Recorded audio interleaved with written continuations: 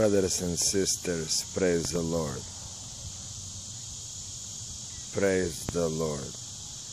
This is the Catholic Church, and as uh, weird as it seemed, uh, what I found in this Catholic Church is you see that little sign over there, right above me? It says to the most sacred heart of Jesus, but yet it has an all-seeing eye. And it's made in shape of Masonic, um, I don't know, ice cube or whatever. Who are they trying to fool? I mean, it's right there, right there, right there in front of you.